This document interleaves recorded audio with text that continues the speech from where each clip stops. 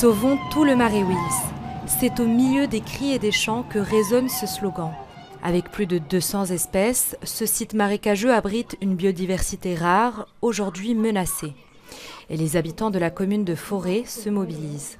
Aujourd'hui, on marche pour la préservation de l'intégralité du Marais Wills, euh, qui est menacé par un projet de construction de 80 euh, logements, euh, d'une extension du métropole et de la création d'un parc infrastructurel. Et donc, nous luttons pour que tout le, site soit préservé. L'objectif, préserver ce plan d'eau en pleine zone urbaine.